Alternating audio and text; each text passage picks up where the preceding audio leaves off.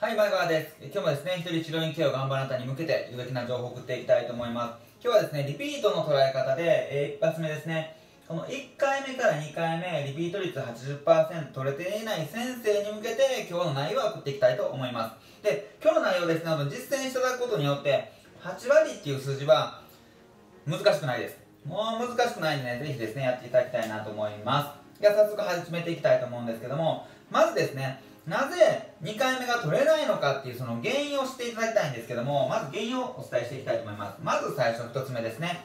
1つ目はですね、当たり前、納得してないんですね。納得していない。そしてよくわからない。まあ、全部納得してないになるんですけど、よくわからない。まあ、この理由がめちゃめちゃ大きいんですよ。で、納得してないどういうことかっていうと、治療に対してです。治療に対して納得していないんですね。まあ両方まとめましょうかね。もう納得しないです。まとめましょう。よくわからない虫だから。何納得しないのかと治療に納得してないんですよ。じゃあこれって何のことなの？治療って結果？でね治療家さん思うんですけども治療結果ではないんですよね。納得してないので治療結果じゃなくて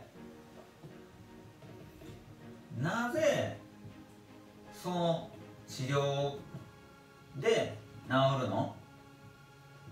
なんでその治療で治るのかっていうのを納得してないんですね。これすごいでかいんですよ。でなぜ自分にはそれが必要？っていうのにも納得してないんですよ。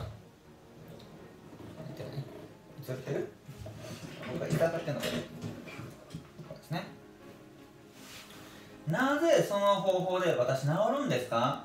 なぜ自分にはそれが必要なんですか？なぜそれをあなたから受けないといけないんですか？これが相手患者さんが納得していないんですね。だからあな先生はこれをしっかりと患者さんに伝えてあげないといけないんですよ。伝えていけないとあげない。伝えてあげないといけない。でこれができていないからあなたのもとに通い続ける理由がわからないんですよ。患者さんは良くなりたいんです。今よりも状況を変えたいんです。であなたのもとに来たんです。期待してきたんですよ。期待してきたけどもよくわからないから通えないんですよ。8000も1万も出すわけじゃないですか。それは納得して通えるところにしかお金を落とさないです。その納得っていうのは治療結果だけではなくてこれが大事なんですよね。これが大事なんですよ。でこれができれば1回目か2回目っていうのはリピート取れます。なので2回目リピート取れてない人っていうのはこれができていないと思ってください。これできていないと思ってください。じゃあこの3つをしっかりと相手に伝えるためにはどのようにしていけばいいのかなっていう伝え方を考えないといけないです。まあ、これをですね、トークスクリプトにするもよし、えー、自分一人でやってるんだったら自分のまあ考え方とかまとめるもよしですよ。まあ、スタッフさんがいる場合はですね、ちょっとトークスクリプトにしてあげた方がいいとは思いますけども、まあ、これがね、原因です。なので、ここをですね、早急に対策していただいて、2回目、8割超えっていうのをですね、ぜひチャレンジしていただけたらなと思います。参考になったでしょうか？はい。ではですね、えー、今日の話はこの辺にしていきたいなと思います。じゃあね、さよなら